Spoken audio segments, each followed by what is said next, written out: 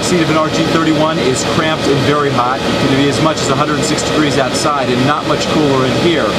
And it's long, boring, tedious work searching for roadside bombs. The shifts are usually about 12 hours, and if they find a roadside bomb, that shift can turn into 24 hours.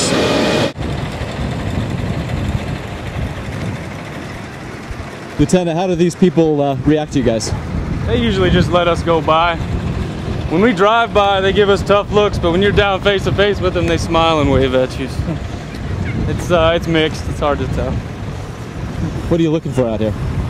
Uh, looking for DFFCs, anti-personnel mines, anti-personnel IEDs, stuff like that.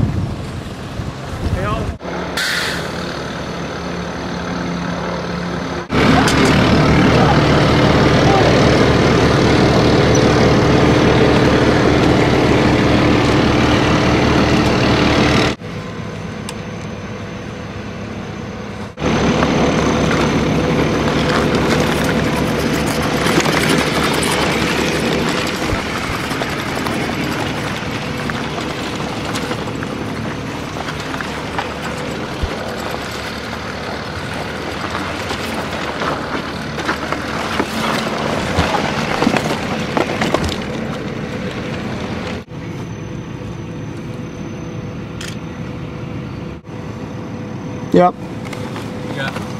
Pressure plate IED. Uh, it's a one yellow jug with a uh, PMN mine.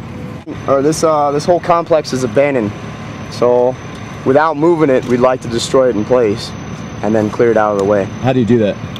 Uh, what we'll do is once we get clearance, I'll take the robot, I'll set up a charge, which consists of two blocks of C4. Uh, I'll run the line charge in there, drop it on top, and then blow it up. That's it. Using the robot. Using the robot, of course.